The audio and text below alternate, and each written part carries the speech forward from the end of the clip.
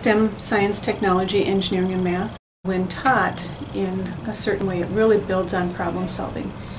And when they're doing these activities hands on, it really has an impact on their learning and it carries forward into the future because they're making those connections between and across the curriculums. The new STEM room, Eric Anderson has a pre engineering class in there, and the fact that we are using collaborative learning with a dirty lab and students computer aided design working in groups, it is a, a phenomenal experience for our students.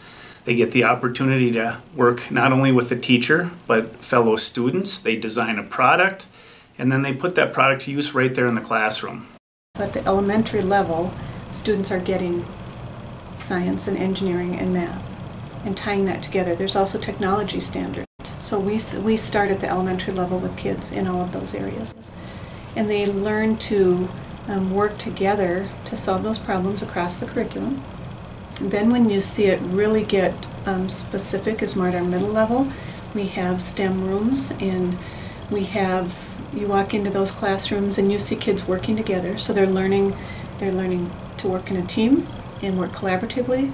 They're learning to communicate. You'll see them solving a robotics problem and using technology and planning their technology online and then taking that design and actually building it with the robotics tools. And it's pretty exciting to see them working together. Then you get to the high school and we have in our whole STEM wing, we have anything from graphic design to um, natural resources to automotive to welding to electronics to construction, but we have a new program up there called Process Operations. So instead of a student just going through the high school, their high school journey where they're just taking classes that are recommended based on the grad requirements, they're actually telling themselves and talking to their parents and their teachers and saying, I want to go into this field. So here's a set of classes that they can take with a set of actual specific skills that are going to help them towards that career. So that even if they're 9th or 10th grade, they can decide, well, I want to go into healthcare or I want to be a process operator and work in the mines well then here's a list of classes you can take and here are the skills you can expect to gain by the time you're done with the classes.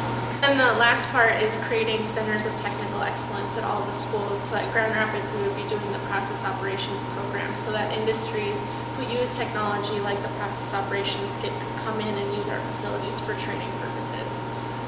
Those things excite me about providing STEM opportunities for students because it takes them into the workforce, it takes them into their world, um, into their personal lives. They take it and they apply it at home and they apply it in their jobs.